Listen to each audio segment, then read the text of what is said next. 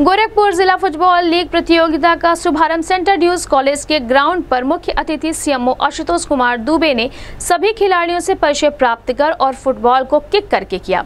प्रतियोगिता के उद्घाटन मैच में सेंट ज्यूट स्कूल व चरगावा फुटबॉल क्लब के मध्य खेला गया, जिसमें चरगावा फुटबॉल क्लब दो शून्य से विजयी हुआ, जिसके संबंध में सीएमओ ने बताया कि फुटबॉल एक बहुत ही सुंदर खेल है। खेल खिलाड़ियों के बीच प्रतिस्पर्धा की भावना जगाता है। फुटबॉल का खेल अठारह में इंग्लैंड से शुरू हुआ था और धीरे धीरे अपनी लोकप्रियता हासिल करते हुए धीरे धीरे अंतर्राष्ट्रीय खेल बन चुका है।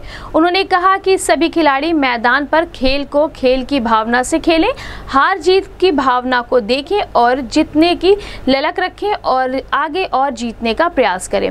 वहीं गोरखपुर फुटबॉल लीग प्रतियोगिता के सचिव हमजा खान ने बताया कि Gorakhpur football league Uttar Pradesh football संघ से मान्यता प्राप्त है और उसी के तत्वावधान में 25 दिवसीय फुटबॉल लीग प्रतियोगिता का आयोजन किया गया है, जिसमें कुल 21 टीम प्रतिभाग कर रही है। इस अवसर पर उपाध्यक्ष उपेंद्र मणि त्रिपाठी, कोषाध्यक्ष फखरुद्दीन अली, संयुक्त सचिव गौतम सरकार, सलाहकार प्रोफेसर जेवियर मारिया राज, आयोजन सचिव संजय साहनी सहित अन्य लोग मौजूद रहे। इस संबंध में गोरखपुर न्यूज़ से बात करते हुए गोरखपुर फुटबॉल लीग प्रतियोगिता के सचिव हमजा खान एवं सीएमओ डॉक्टर आशुतोष कुमार दुबे ने कहा।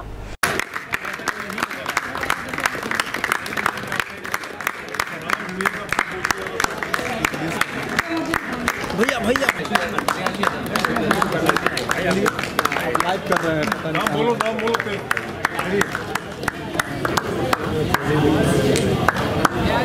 रेकॉर्ड करो भाई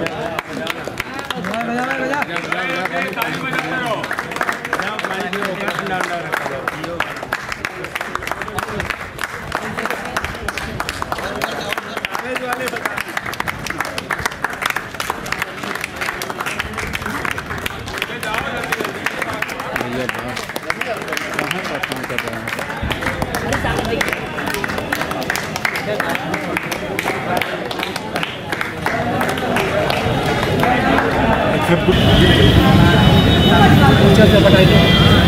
थोड़ा है बैब फ़र्स्ट हाफ़ हो चुका है।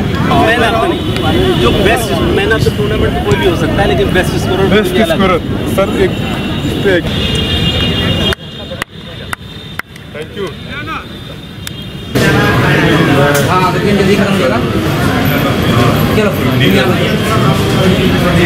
मैं तो पकड़े जाती है तुम निकालो मेरा बेटा एक ही चीज़ कहूँगा आपके मम्मी का क्या हुआ था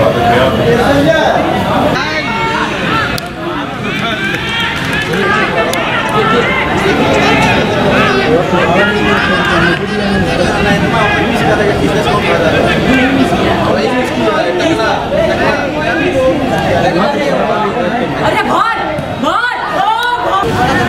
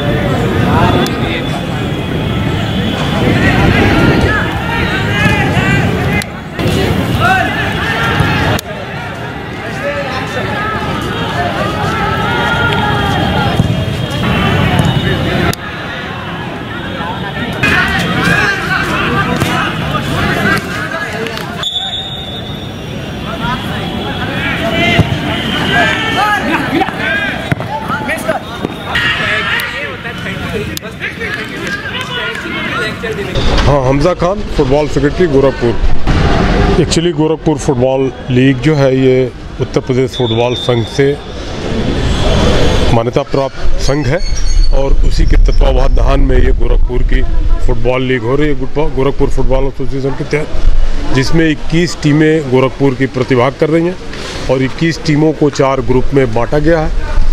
पहले ग्रुप ए में छः टीमें हैं और बाकी तीन ग्रुपों में पाँच पाँच टीमें हैं।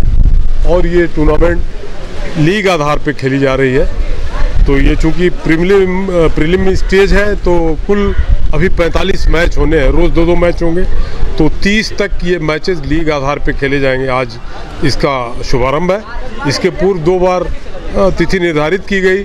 एक 28 तारीख को पूर्व पिछले महीने और फिर एक तारीख को तो वाटर लॉगिंग की वजह से इसको शिफ्ट करना पड़ा। आज इसको हम लोग इसका शुभारंभ हुआ। मुख्य अतिथि सीएमओ आशुतोष डॉक्टर आशुतोष दुबे जी थे। ये जनपद स्तरीय है और इसमें जो टीम चैंपियन होती है जनपद में, वो स्टेट लीग खेलने जाती है अपने अपने जनपदों से। क्या कुछ प्राइज रखा गया ये इसमें इंडिविजुअल प्राइज होती है, कोई कैश प्राइज तो है नहीं है, और ये ऑफिशियल टूर्नामेंट होता है इसमें। कोई कैश प्राइज का वो प्राविधान नहीं है, दे भी सकते हैं हम, लेकिन फंड जनरेट होने पर।